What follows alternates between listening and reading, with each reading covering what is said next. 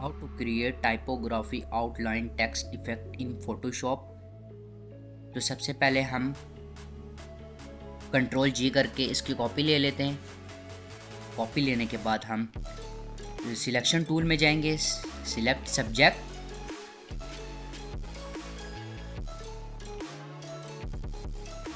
हम इसकी सिलेक्शन कर लेते हैं पहले सब्जेक्ट की। सिलेक्शन करने के बाद हम मास्क अप्लाई करेंगे।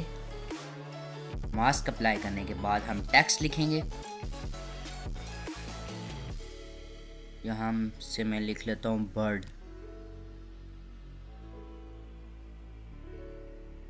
control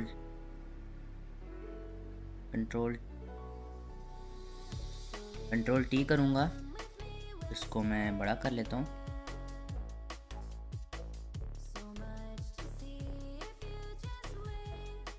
थोड़ा सा और बड़ा कर लेते हैं हम इसको। इंटर कर दूँगा मैं। मैं कंट्रोल जे करके एक कॉपी और कर लेता हूँ टेक्स्ट की। राइट क्लिक करना है हमने यहाँ पे और कन्वर्ट टू शेप इधर क्लिक करने के बाद हम रेक्टेंगल टूल में जाएँगे और यहाँ से हमने फिल को ऑफ़ कर देना है और स्ट्रोक को वाइट कलर दे देना है। वाइट कलर देने के बाद हम यहाँ से इसको रख देंगे सिक्स ई एक्स और जो बर्ड वाला टेक्स्ट है, उसको हम क्लिपिंग वाले में ले आएँगे कुछ इस तरह से।